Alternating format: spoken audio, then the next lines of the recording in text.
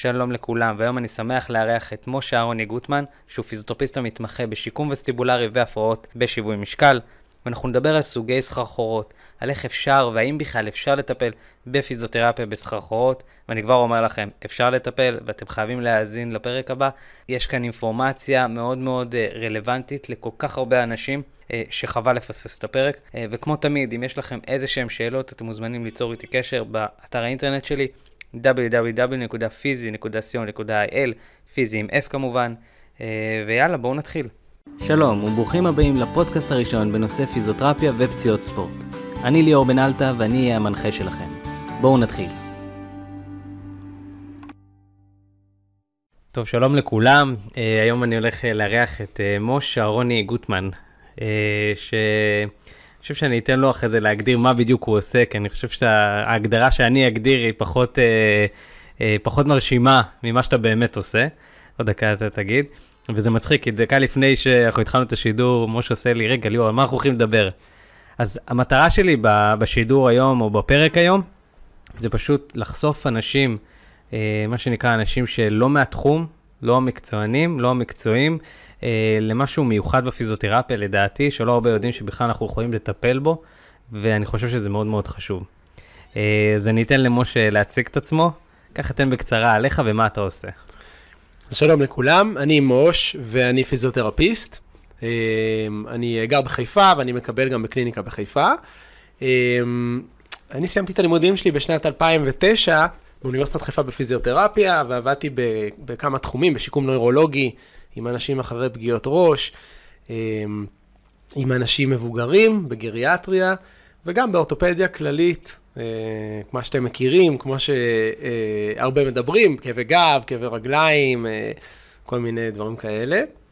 אה, ובאיזשהו שלב התחלתי להתעניין מאוד בתחום שאנחנו נדבר עליו היום הרבה, שהוא תחום שנקרא שיקום וסטיבולרי, שזה בגדול טיפול בסחרחורות והפרעות שיווי משקל. התחלתי להתעניין בתחום הזה, וככה באמת התמקצעתי בו כמה שיכולתי. במסגרת האפשרויות שיש בישראל. בשלב מסוים, אה, מבחינה מקצועית, היכולות להתפתח בארץ פה הן מוגבלות קצת בתחום הזה, ולכן אה, מה שעשיתי זה, אה, טסתי מערבה לשנה, הייתי בארצות הברית שנה, ועברתי אצל כל מיני אנשים מומחים, למדתי את התחום הזה ככה כמו שצריך לעומק ולרוחב. עשיתי עוד השתלמויות בעוד כמה מקומות בחו"ל, וחזרתי לישראל למעשה אה, ב-2016, ומאז אני אה, ממש מטפל ועוסק בתחום הזה כמעט באופן אקסקלוסיבי, גם אה, מלמד אותו, גם מכשיר פיזיותרפיסטים בתחום הזה, כדי שבאמת יותר ויותר אנשים יוכלו לקבל טיפול במקומות בארץ וטיפול ברמה גבוהה. וגם, האמת שאני גם, גם חוקר את זה במסגרת לימודים לתואר מתקדם באוניברסיטת חיפה עכשיו, אז עוד ככה כמה חודשים, אנחנו נצטרך, אה, אנחנו נצטרך אנשים למחקר שאנחנו מריצים, אנשים עם סחרחורות, אז אני מאוד אשמח אם אנשים ששומעים את התוכנית אולי ירצו לבוא, כי זה יעזור לנו לדעת לטפל יותר טוב בבעיות האלה. יופי, מעולה. אה, אז בואו נתחיל קצת בגדול, אה, או בקטן, אני כבר לא יודע, כאילו אם אנחנו הולכים עכשיו לרוחב או לעומק. מהי המערכת הוויסטובולרית? אוקיי, okay, אז אני אקח את זה טיפה יותר אחורה ואני אגיד שקודם כל, אה, אה, באמת סחרחורות זה משהו שאנשים רבים סובלים ממנו, mm-hmm. רבים מאוד. אנחנו מדברים על בערך חמישה אחוז, אה, חמישה אחוזים מכל האנשים שמגיעים ל, אה, לרופא, אוקיי? על כל הבעיות שאתם יכולים לתאר לעצמכם, זה אנשים שבאים עם תלונה על סחרחורת. מטורף. שזה די הרבה, זאת אומרת, אני לא יודע, אולי זה נשמע לכם מעט, אבל זה הרבה במונחים סטטיסטיים. זה המון. ו... אה, מתוך האנשים האלה שבאים על תלונה של סחרחורת, בעצם רוב, ה, אה, רוב הבעיות שלהם, או רוב הבעיות שמובילות לתחושה של סחרחורת, נובעות מבעיות בתוך מערכת שנקראת המערכת הווסטיבולרית. עכשיו, המערכת הווסטיבולרית זאת בעצם מערכת מאוד מעניינת, שנמצאת בתוך האוזן הפנימית, okay? אוקיי? זאת אומרת, היא נמצאת בעצם בתוך הגולגולת אוקיי? בתוך עצם הגולגולת, מקום מאוד מוגן וחזק, שנמצא ליד תעלת האוזן, תעלת השמע, זאת אומרת, כשהרופא מסתכל בתוך תעלת השמע, הוא לא יכול לראות את האיבר הזה. האיבר הזה נמצא בתוך העצם בפנים. כדי לראות אותו צריך לעשות CT, אה, או אה, לעשות ניתוח ולהוציא אותו החוצה, אוקיי? אה, אבל אז הוא לא יעבוד. אמ, והמערכת הזאת, הגודל שלה, של האיבר הזה, הוא בערך בגודל של הרשתית, כאילו כמו החלק הצבוע בתוך העין, okay? מין דבר נורא קטן. Mm-hmm. יש אותו בשני הצדדים, כלומר, כל אוזן יש מערכת אחת כזו, והתפקיד של המערכת הזאת, הכי חשוב, זה שהיא סנסור, או היא, היא חיישן של האוריינטציה והתנועה של הראש שלנו במרחב. מה הכוונה? אם, דמיינו שאתם יושבים על כיסא, כיסא מחשב כזה, מסתובב, אתם יושבים עליו, ואתם עוצמים עיניים, ומישהו מסובב את הכיסא לאיזשהו צד.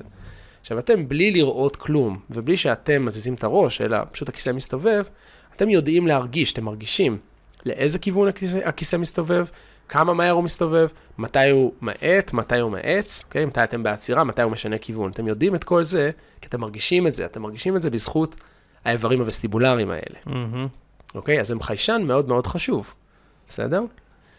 ואיך זה עובד אה, בפועל? אני יודע שיש הרי את העניין הזה של הנוזלי והעניין הזה של האיזון, נכון?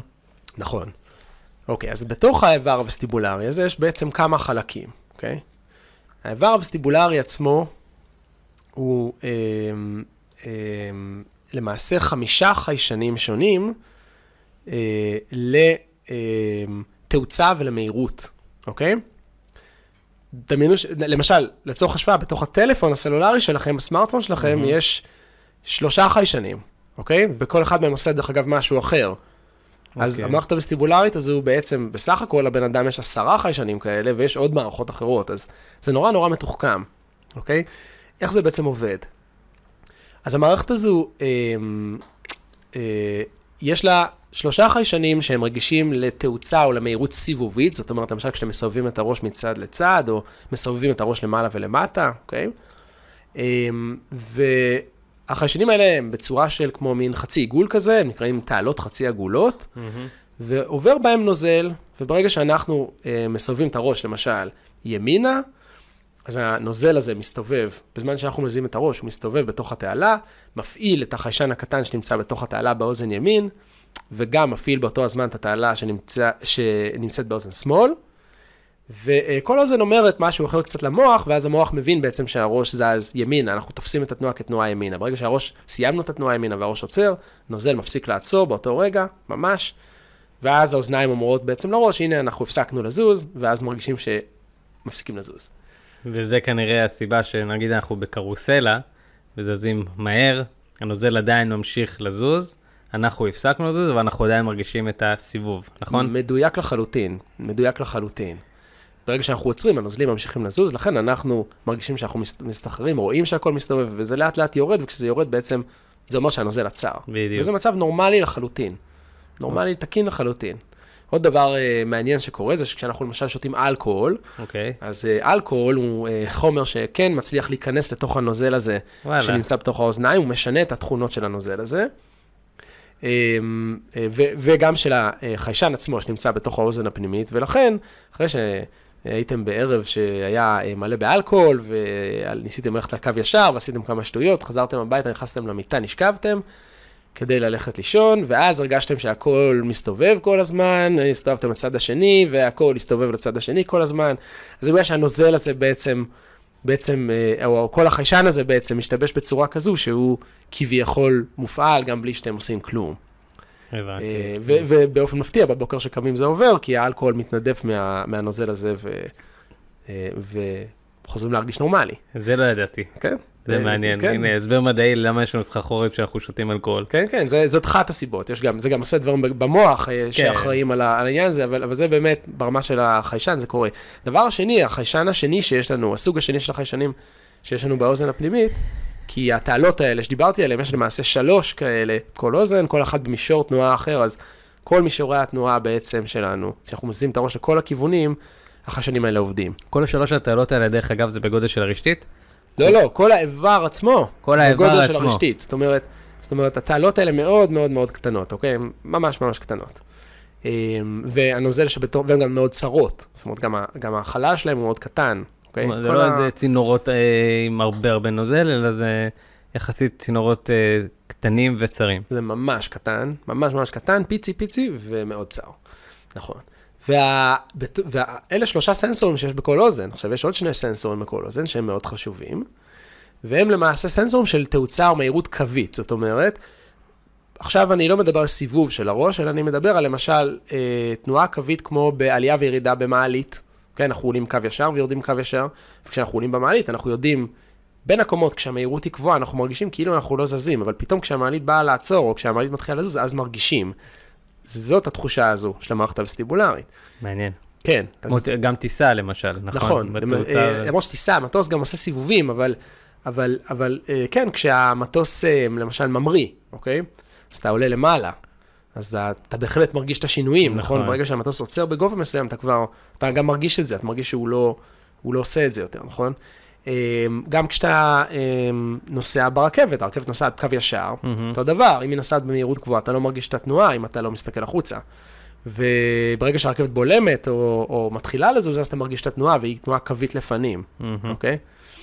אמ, והמערכת הזו של החיישנים גם כן אה, מלאה בנוזל, אבל בתוך החיישנים האלה יש לנו משקולות קטנות שזזות בעצם למעלה ולמטה, או שמאלה וימינה, בהתאם לתנועה הקווית, והמשקולות האלה זה מין קריסטלים נורא נורא קטנים, שעשויים מחומר אה, לא, לא יקר בעליל, אז זה לא קריסטלים שאתם יכולים להוציא ולמכור בהרבה כסף, אה, ופשוט עשויים מסידן ופחמן, אה, ויש להם מסה, וזאת אומרת, ברגע שאנחנו זזים למעלה או למטה, או קדימה ואחורה, הקריסטלים האלה בעצם זזים בתוך הנוזל, זה קצת כמו אבן שנופלת בתוך המים, מהמם. וברגע שהם זזים בפנים, אנחנו מרגישים את התנועה.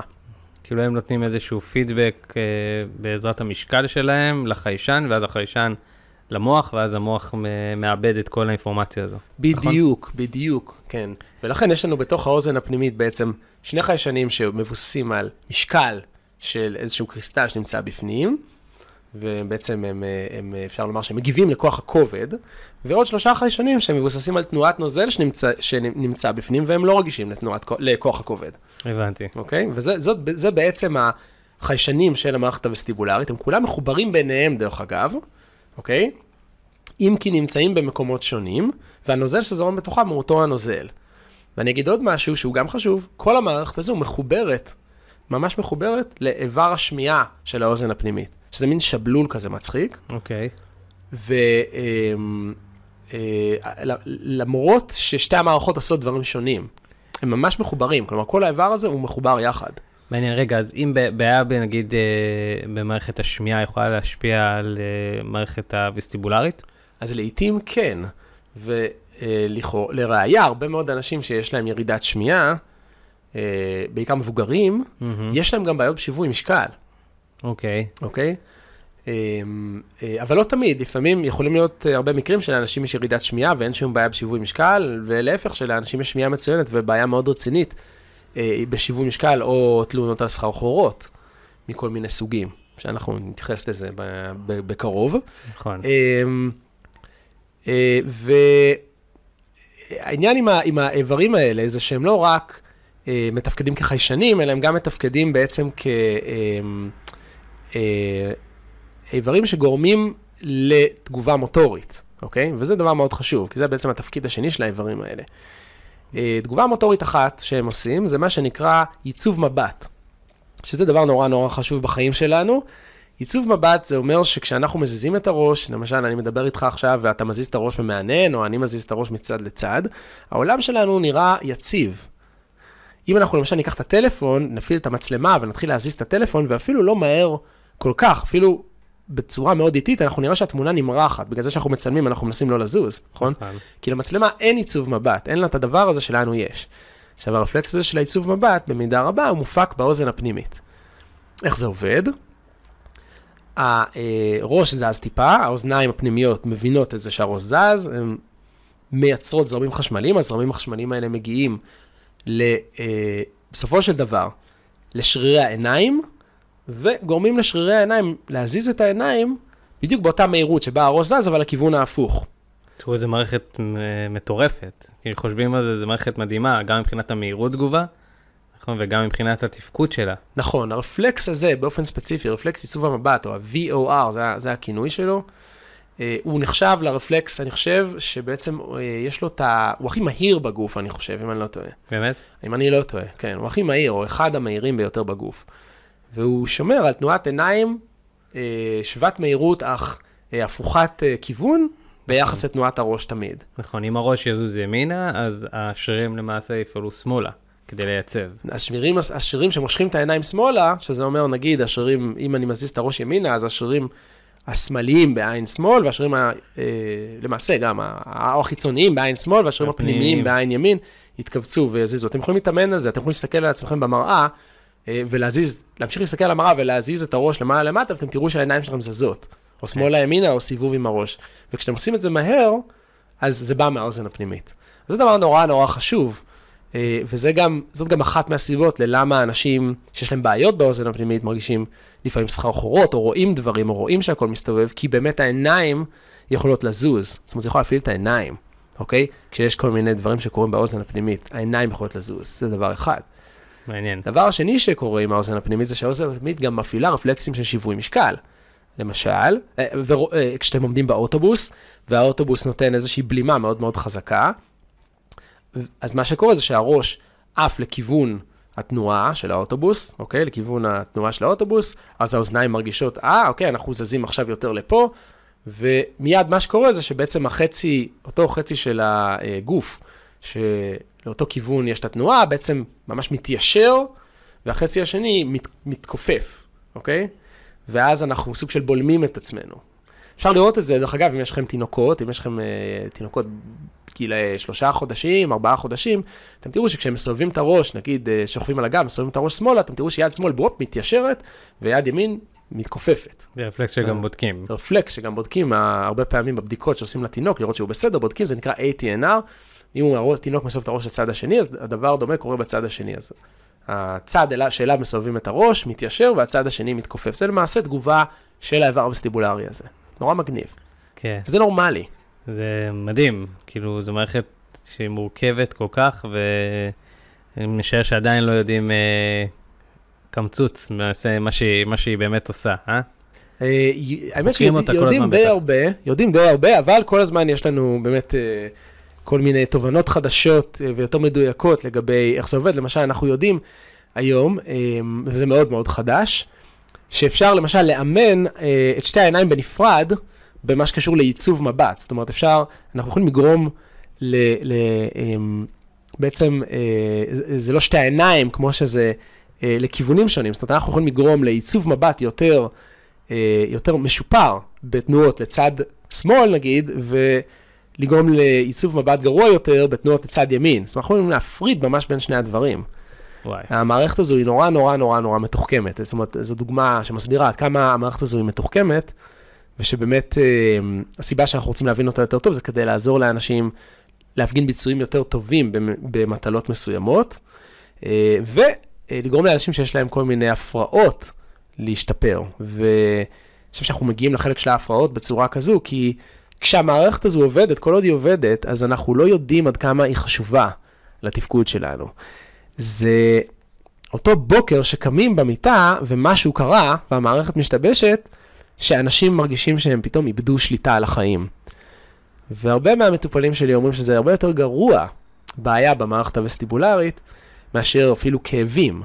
אני מסכים. כי אנשים אומרים שעם כאב הם עוד איכשהו יכולים להסתדר, אבל עם אובדן שליטה בגוף, הם לא יודעים איך להסתדר, וזה מה שקורה כשיש לנו בעיות במערכת הווסטיבולרית. לחלוטין. אם אני אקח את זה לפן האישי, אז לפני עשר, שמונה שנים בערך, קרה לי בדיוק אותו דבר. קמתי יום אחד, וסחרחורות מטורפות, וזו תחושה הרבה הרבה יותר גרועה מכאבים אחרים שהיו לי ופציעות שהיו לי.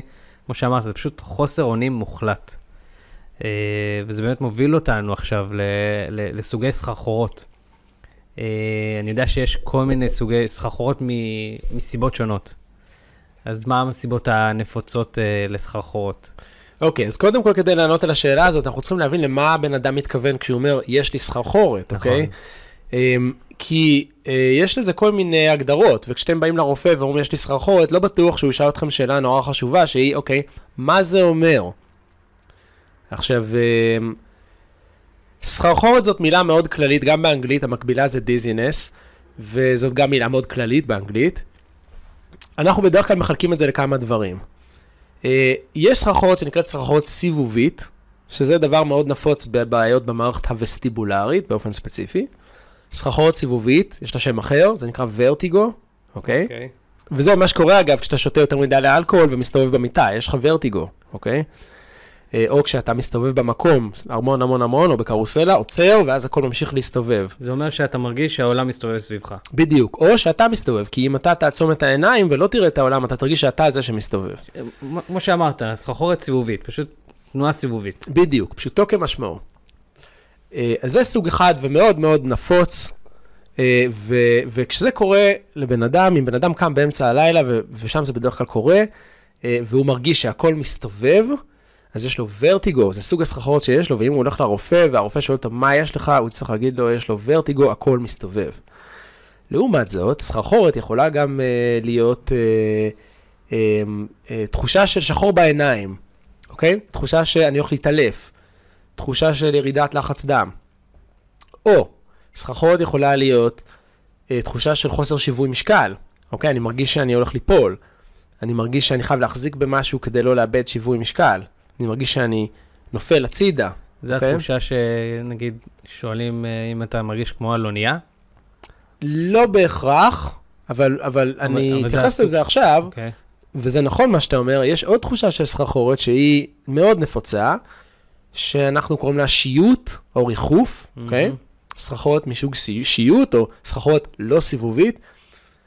יש לזה המון המון הגדרות, החל מ"אני מרגיש כאילו אני על אונייה", אני מרגיש שאני שט, אני מרגיש שאני מרחף, אני מרגיש שהעולם זז מצד לצד, אוקיי? קצת, לא מסתובב, אבל הוא, הוא כאילו לא יציב, אוקיי?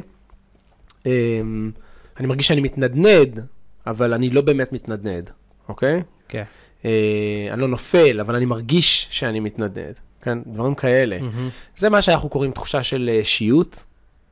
אמ, סחרחורת יכולה להיות תחושה של כמו ערפול, או מין אה, חוסר יכולת ריכוז, אוקיי? אני לא מרוכז, אני עייף. אה, סחרחורת יכולה להיות כאב ראש. אנשים לפעמים אומרים, יש לי סחרחורת, מה זה אומר? אומרים, כואב לי הראש, אוקיי? אז כאב ראש זה כאב ראש. אמ, אה, ויש עוד איזה משהו, מה עוד ברח לי? אמ, יש עוד כל מיני תחושות מוזרות שאנשים לפעמים אומרים, אני מרגיש שאני נמצא מחוץ לגוף שלי, אני מרגיש שהראש שלי מלא בצמר גפן, אוקיי? אמ, אה, אה, ואני אני מרגיש שהראייה, אני, אני, העולם נהיה מטושטש, זאת עוד דוגמה לסחרחורת, והעולם מטושטש, בעיקר כשאני זז או כשאני מזיז את הראש, אז יש לזה שם, זה נקרא אוסילופסיה. וזה גם יכול לנבוע מבעיה באוזן הפנימית באמת, אותה מערכת וסטיבולרית שדיברנו עליה. עכשיו, כל, ה, כל הסוגי סחרחורות האלה, כולן מתקשרות למערכת הווסטיבולרית, או שאפשר לסווג אותם למי אחראי על מה? אז מצוין ששאלת. אז ככלל, כשאנחנו אה, שומעים משהו כמו, אה, אני רואה שחור בעיניים, אני מרגיש שאני הולך להתעלף, אוקיי? או אני מרגיש שהדם שלי, שיש לי ירידה מאוד רצינית בלחץ דם, אנחנו בדרך כלל מקשרים את זה למשהו שנקרא פרסינקופה, וזה מאפיין הרבה פעמים בעיות של אה, זרימת דם, או בעיות לבביות, אוקיי? וזה בדרך כלל קורה כשאנשים עוברים ממצב של ישיבה או שכיבה למצב של עמידה, נכון. אוקיי? אה, בדרך כלל. אבל... קושי באיזון של הלחץ דם משכיבה לישיבה או לעמידה. נכון, או בזמן פעילות גופנית מאומצת או ממושכת, אוקיי, אנשים שיש להם בעיות בלב או בזרימת דם, אז, אז זה, זה דברים ש, שיכולים לכוון אותנו לשם. אמ, כש... אמ, ו, וזה דבר חשוב לדעת, אוקיי?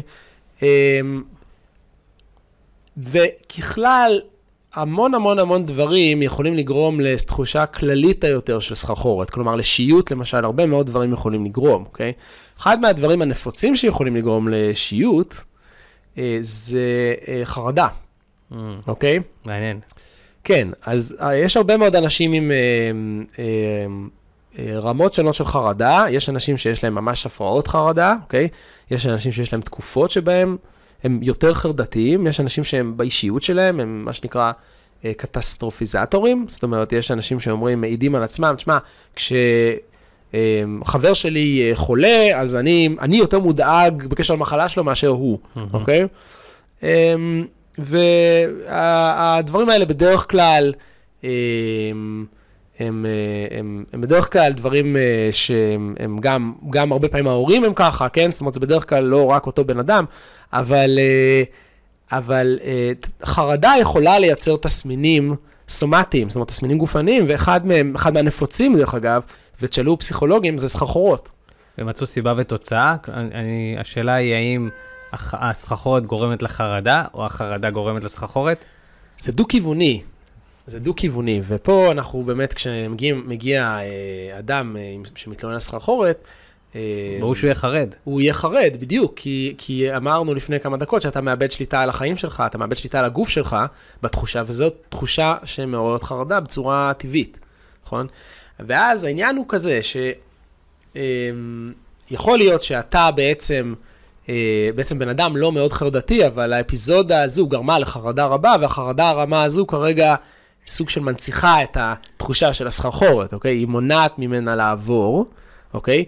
ולחלופין, יכול להיות מצב שאתה אדם מאוד מאוד חרדתי ואתה נמצא בתקופה מאוד מאוד לחוצה, וקמת בבוקר ופתאום קמת עם איזושהי מין סחרחורת כזו, אמ, או שקרה עוד איזשהו דבר שממש דחף אותך לקצה, אה, שהוא גם יכול להיות פיזי, כלומר יכול להיות שטסת במטוס ונחתת, אבל אתה בתקופה נורא נורא לחוצה, והטיסה במטוס גרמה לך להיות טיפה מסוחר, כי זה קורה להרבה מאוד אנשים, ו- והחרדה העצימה, העצימה את זה והנציחה את זה, ואז זה סוג שנתקע אצל האנשים. ו- וזה, זה, ואז זה באמת מין ביצה של תרנגולת, זה מעגל שלילי ש- שמנציח את עצמו כל הזמן. הבן אדם אה, מרגיש מסוחר, והוא מתחיל לפתח חרדות לגבי זה, ולבדוק את עצמו כל הזמן, ואז אה, כשהוא עושה את זה, אז uh, הוא בעצם מכניס את הגוף למתח, כי הגוף נכנס למתח, וזה גורם למנגנונים של הסחרחורת להחריף. ואז הבן אדם, uh, שוב, נהיה חרד יותר וחוזר חלילה. מעניין, אז, ו- ולכן אחת השאלות, אני יודע מחברים שאני לא עשיתי את הקורס הווסטיבולרי, זה תנסה לתאר לי את סוג הסחרחורת, נכון? כי אז זה נותן לכם כיוון, האם, ה- האם מי שאחראי לזה זה האיבר הווסטיבולרי, או האם זה משהו אחר?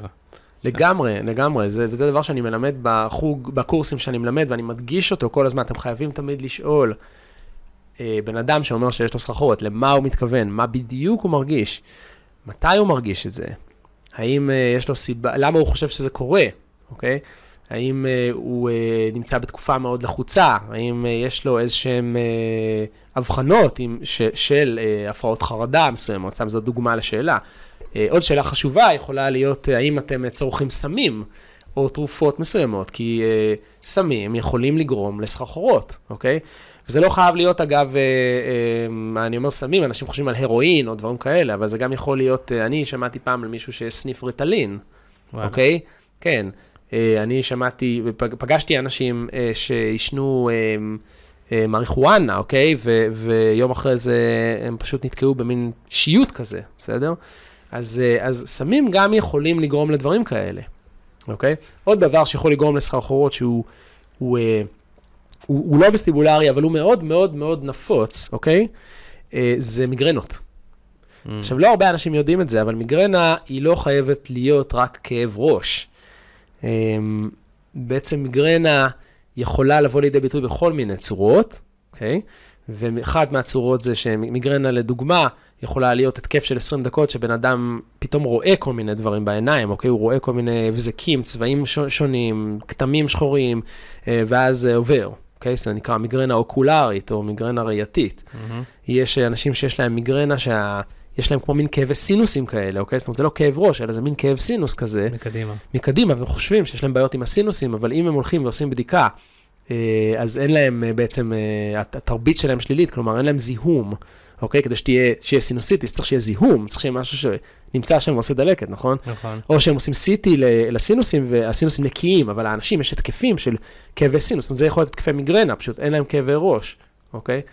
אמ, אני פגשתי בן אדם שהיו לו התקפי מיגרנה, שחצי גוף שלו היה נהיה משותק, כמו אירוע מוחי, אוקיי? בהתקף עצמו? כן, כן, זאת אומרת, כל פעם שיש התקף, חצי גוף נהיה משותק. ממש, חושבים שזה אירוע, הוא הולך לבית חולים פעם, פעמיים, עשר פעמים, הבינו שזה מיגרנה, קיבל טיפול תרופתי למיגרנה, לא קורה יותר. אז מיגרנה יכולה להיות גם מיגרנה של ורטיגו או של סחרחורת, וזה נקרא מיגרנה וסטיבולרית. וזה יכול להיות התקף של סחרחורת שנמשך יום שלם או יומיים שלמים, הוא לא חייב לבוא יחד עם כאב ראש, יכול להיות שהוא בא אחרי או לפני כאב ראש, אה, ואז הוא פשוט עובר. והאנשים האלה מרגישים איום ונורא, אבל זאת לא בעיה באוזן, זו בעיה שקשורה למיגרנה, ועד שלא יטפלו במיגרנה, זה לא יעבור. מעניין. אה, בוא נגיע לקטע החשוב מבחינתי. אה, האם ואיך פיזיותרפיסט אה, שמתמחה במערכת הווסטיבולרית יכול לעזור לחבר'ה שסובלים מסחרחורות? או בוא נעשה את זה בצורה לדעתי הרבה יותר מתודית.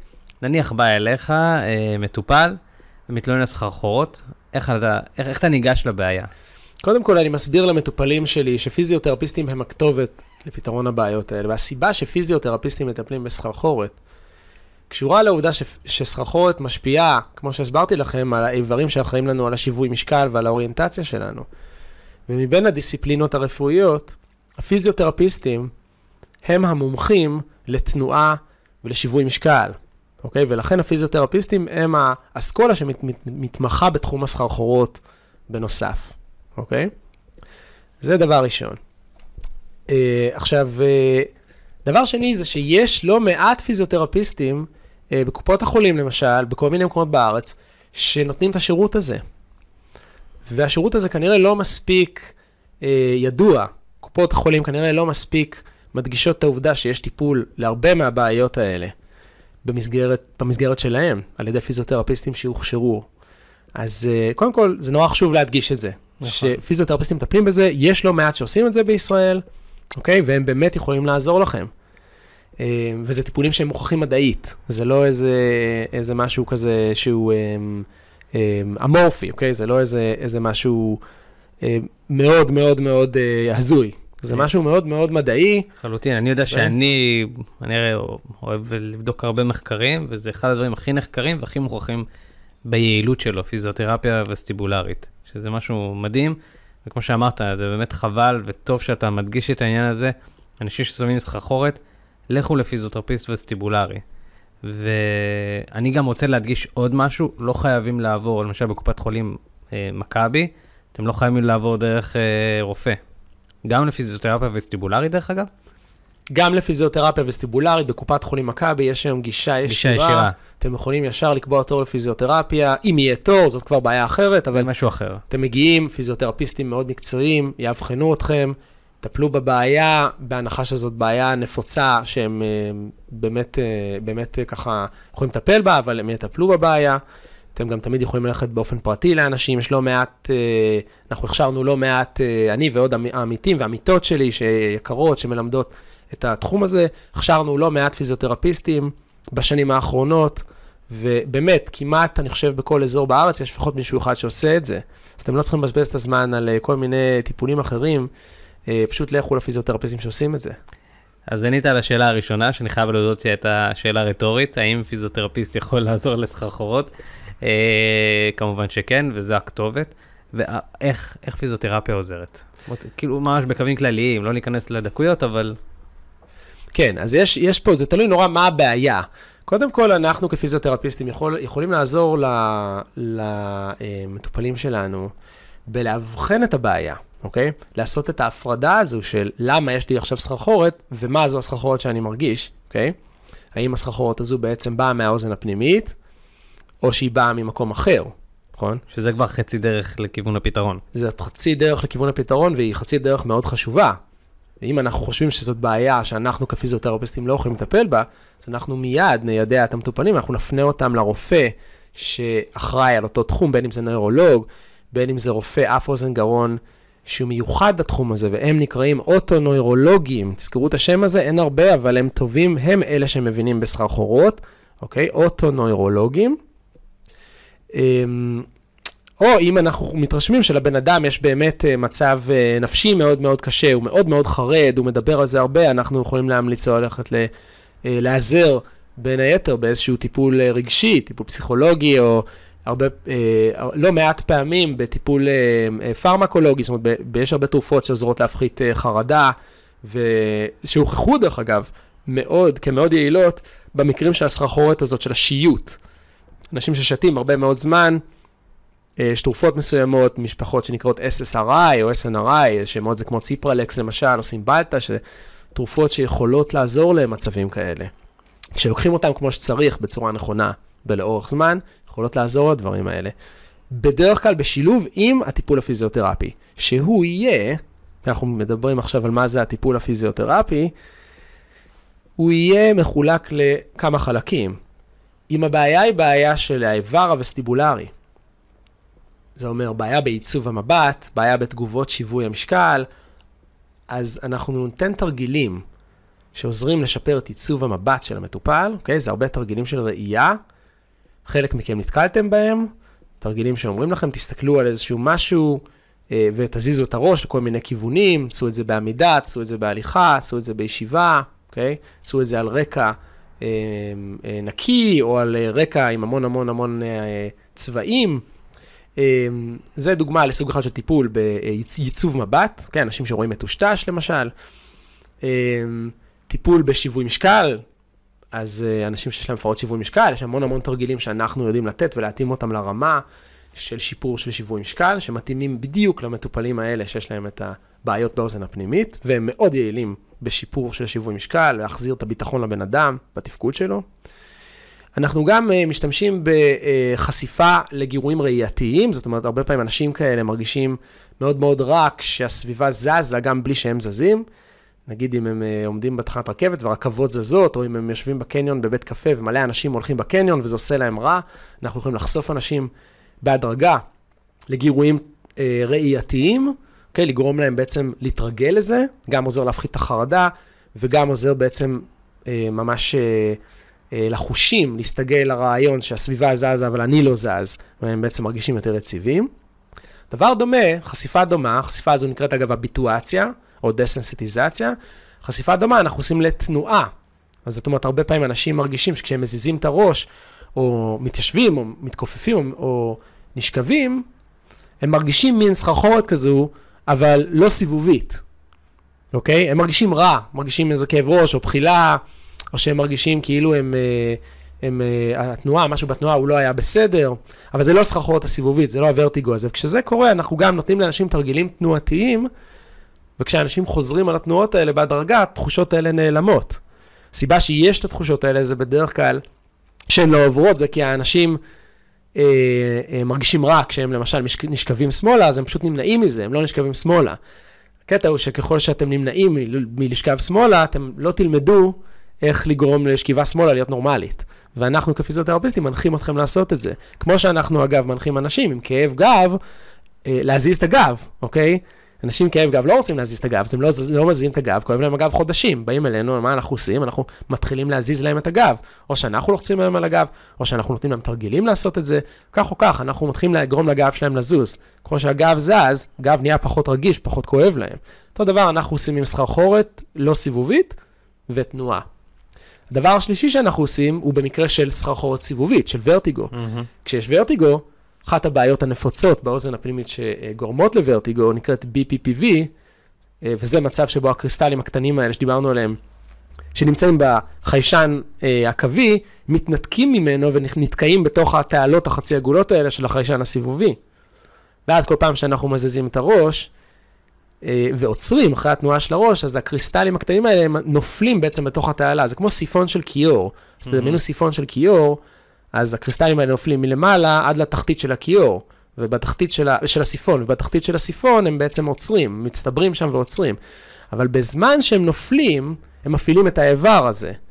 והנפילה הזאת מתרחשת בשינוי מצב של הראש. אז כשאנשים הרבה פעמים פתאום מסתובבים במיטה, הם משנים את המצב של הראש, הקריסטלים שנתקעו בתוך הצינור הזה מתחילים לזוז, גורמים לכל המערכת הזו לפעול, ואנשים חוטפים את הוורטיגו הזה, את הסיבובים המטורפים האלה, ולאט לאט, תוך כמה שניות, הרבה פעמים הסיבוב הזה נגמר, כי הקריסטלים מסתברים בתחתית ומפסיקים את התנועה, ואז הבן אדם מסתובב חזרה, שוב הם זזים, ושוב הדבר הזה קורה. הדבר הזה נקרא BPPV, זה השם של הדבר הזה, אם כתוב לכם בהפניה BPPV, אז תדעו שיש לכם בעיה עם הקריסטלים באוזן, בעיה הכי נפוצה, הסיבה הכי נפוצה לוורטיגו אה, זה זה, אוקיי? זאת הבעיה הזו, זו בעיה שנורא קל לטפל בה, פיזיותרפיסטים הם מעולים בלטפל בבעיה הזו, הטיפול הזה הוא אחד הטיפולים הכי יעילים, אנשים נכנסים. טיפול מדהים. שבקושי הולכים ומרגישים רע, ממש, עושים להם כמה תנועות, וזה פשוט עובר. ואם זה לא עובר אחרי פעם אחת, זה עובר אחרי פעמיים, ואם לא אחרי פעמיים, אחרי שלוש, וזהו, אוקיי? זאת אומרת, תחשבו על אנשים עם כאב גב, כמה פעמים באים טיפול פיזיותרפי, או אנשים ששברו את היד, או אנשים ששברו אירוע מוחי, לעומת כזה דבר, אוקיי? זה ממש בגדר אה, נס, כן, מה שנקרא. וההשפעה על האיכות חיים מדהימה. בדיוק, והטיפול הזה הוא טיפול של איזשהו רצף תנועתי שעושים בעצם כדי אה, לפתור את הבעיה המכנית הזו, כי זו בעיה מכנית בתוך האוזן, זה משהו שתקוע בתוך צינור שצריך להוציא. זה לא דומה להרבה דברים אחרים שקורים בגוף. נכון, זה ממש אה, מנובר ממש מכני שאתם, שהפיזיותרפיסט עושה, עושה איזושהי תנועתיות כדי לנסות ממש להזיז מכנית את, ה, את הקריסטלים האלה, נכון? אמת, לחלוטין כן. מדהים, מדהים. אה, אני חושב שיכולנו לדבר עוד שעות, מוש, אה, אבל היה לי חשוב באמת ש, שתסביר את כל המערכת וגם תסביר לחבר'ה שמאזינים לנו, אה, כי זה לא תמיד אנשים, אה, כמו שאמרתי, מהתחום, שיבינו שהמקום לטיפול בסחרחורת זה פיזיותרפיסטים ופיזיותרפיסטים שמתמחים במערכת הזו. אה, אבל כן חשוב לי שאם יש לך איזשהו אה, משהו... להגיד לחבר'ה דווקא המקצועיים, למשל קורסים שאתה מעביר, אם יש איזה משהו בקרוב שאתה מעביר, אז אני אשמח אם, אה, אם תדבר על זה גם, ומה בדיוק לומדים בקורסים האלה. אוקיי, אז בשביל החבר'ה המקצועיים, אה, אני מעביר קורסים, אה, נכון להיום קורס, ב, קורס בסיסי מה שנקרא, קורס של אה, אה, כ-40 שעות, קורס בסיסי שמכשיר פיזיותרפיסטים וגם רופאים אם הם רוצים, באמת בשיקום, באבחון ושיקום וסטיבולרי. וזה קורס מאוד מאוד יסודי, מאוד מעמיק, עם הרבה מאוד תיאוריה והרבה תרגול עצמי. ואנחנו גם רואים מטופלים בקורסים האלה, והם מדגימים עליהם בדיקה וטיפול. אה, קורסים האלה בעצם מאפשרים לפיזיותרפיסטים אה, שלא מכירים את התחום, אה, להיכנס אליו, אה, לקורס הזה ולצאת ממנו, ולהתחיל ישר לטפל בבעיות האלה, שכמו שאמרתי, הן מאוד נפוצות ומאוד מגבילות. נכון לעכשיו, יש לנו כנראה איזשהו קורס בסביבות אוקטובר או נובמבר, אבל באזור המרכז. אה, זה התכנון לכרגע, אני פשוט מאוד מאוד עמוס באופן אישי עכשיו, עם, אה, גם עם דברים שקשורים למחקר שלי וגם עם, אה, עם עבודה. אבל אני שמח לבוא לכל מקום שאם יש כמה חבר'ה שרוצים להתארגן, אפילו עשרה אנשים, אז אני בשמחה מוכן לבוא. ולהכשיר אנשים, אני אוהב קבוצות קטנות גם. אני גם עושה קורסים מתקדמים, כמו שאמרתי, ושזה מיועד לפיזיותרפיסטים שעשו כבר קורסים בסיסיים, הרבה מהם עשו קורסים בסיסיים לפני שנים, והידע המקצועי שלנו והמדעי מאוד התעדכן מאז, ואני בהחלט, אה, בהחלט שמח מאוד לייצר יישור קו אצל הפיזיותרפיסטים היותר ותיקים, שרוצים אה, להבין מה הם עושים ולעשות את זה הרבה יותר טוב. אה, וגם את זה אני עושה בכל הארץ, גם כן קבוצות קטנות. אתם גם יכולים לבוא לחיפה אצלי, זה נורא נחמד אה, לארח שם תמיד. דבר נוסף, אני מזמין פיזיותרפיסטים לבוא אליי, לקליניקה. אה, אין לי שום בעיה עם זה, בדרך כלל יש פיזיותרפיסטים שאוהבים לבוא, ולפעמים הם באים עם המטופלים שלהם אה, לייעוצים, אני עושה את הייעוצים האלה. אה, אני גם, גם לפעמים נוסע למקומות שיש מטופלים שלא יכולים להגיע, לתת איזשהו ייעוץ, ואז גם הפיזיותרפיסט שמטפל, ככה מקבל אה, עוד איזשהו כיוון, ואנחנו עוזרים ביחד למטופלים שלו. אה, אה, ואנחנו אה, באמת פועלים כמה שיותר לקדם את התחום, גם כן עכשיו במסגרת עוד כובע שלי של... אה, אה, אני חבר בהנהלה לעמותה, של העמותה לקידום הפיזיותרפיה בישראל, שזה הגוף הכי גדול שמאגד פיזיותרפיסטים מבחינה מקצועית בארץ, ואחד מהדברים שאנחנו מנסים לעשות גם כן בזמן הקרוב זה לקדם יותר את התחום הזה, את הנראות שלו, ואת העובדה שפיזיותרפיסטים יכולים לעזור, באמת ככה בקהילה, בצורה יותר רחבה. אמ, כדי שתהיה יותר מודעות לזה, גם אגב אצל רופאים, לא כל הרופאים יודעים. לא כל הרופאים יגידו לכם, תלכו לפיזיותרפיה. הרבה מהרופאים יגידו לכם, יש לכם בעיית צוואר, בגלל זה הסחרחורת אה, מופיעה לכם. זאת בדרך כלל לא הסיבה, אוקיי? בדרך כלל בעיה תהיה מהאוזן הפנימית, תדעו את זה. אמ, אמ, ו, ובמובן הזה גם אני, אני פועל לנסות ולפרסם כמה שיותר את התחום. אני רק רוצה להגיד עוד משהו אחד שלא אמרתי קודם, אבל הוא חשוב, אמ, והוא גם יכול להיות שימושי לחלק מהמאזינים, אם מישהו פתאום חוטף סחרחורת, איך אנחנו יודעים אה, מה אנחנו רוצים לעשות.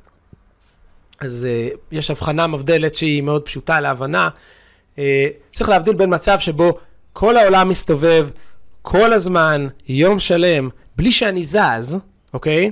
זאת אומרת, אני יושב בכיסא או שוכב במיטה, לא זז כמו מומיה, והכל מסתובב כל הזמן ולא מפסיק, לבין מצב שבו העולם מסתובב, אבל זה רק אחרי שאני זז, או כתוצאה מאיזשהו שינוי שאני עשיתי במנח שלי, אוקיי? המצב הראשון, של סחרחורת, שכל, סיבובית, שכל הזמן קורית, זה מצב שדורש בעצם אה, ללכת לבדיקה רפואית דחופה. כי יכולה להיות פה או איזושהי פגיעה באוזן הפנימית של איזה וירוס, שיכולה גם לפגוע בשמיעה, כי אמרנו שזה מחובר, ולכן אנחנו רוצים ללכת לרופא שיבדוק את זה, או איזשהו מצב של אה, איזושהי פגיעה אחרת אה, שיכולה להיות במוח באזורים מסוימים, למשל לסוג של שבץ שפוגע בגזע המוח או במוחון, שזה אזורים שמאבדים את המידע הווסטיבולרי הזה במוח, ויכולים אה, לגרום לכזה דבר, אם יש בהם שבץ. אבל אם דבר כזה לא קורה, אם כל מה שיש זה באמת סחרחורת סיבובית, ורטיגו, כשאתם רק מסתובבים או זזים, אתם יכולים ישר ללכת לפיזיותרפיה בלי שום חשש, וגם, הפיז... ואז אם הפיזיותרפיסט יחשוב שיש משהו אחר, הוא יפנה אתכם לרופא, אוקיי? ולא צריך לדאוג, ברוב הגדול של המקרים, זה הבעיות המכניות הפשוטות של האוזן הפנימית שגורמות לסחרחורת. הסיכוי, סטטיסטית, לחטוף שבץ מוחי, שגורם לכל העולם להסתובב, הוא מאוד מאוד מאוד מאוד נמוך. אתם צריכים לזכור את זה, הסטטיסטיקה פה לא משקרת. מדהים. Uh, טוב, כמובן אני אשאיר את כל הפרטים של מוש ברשותו. Uh, אם תרצו לפנות אותה, אני משער שלא תהיה לו בעיה לענות על השאלות שלכם. Uh, ואני רוצה להודות באמת באופן אישי למוש, תודה שהגעת, אני חושב שדיברת על משהו מאוד מאוד חשוב, וחשוב שכולם ידעו אותו, וחשוב שהרבה אנשים שסובלים ידעו שיש גם איפה לטפל ואיך לטפל, uh, ותודה. תודה רבה לך, ותודה רבה לכם, מקווה שנהנתם.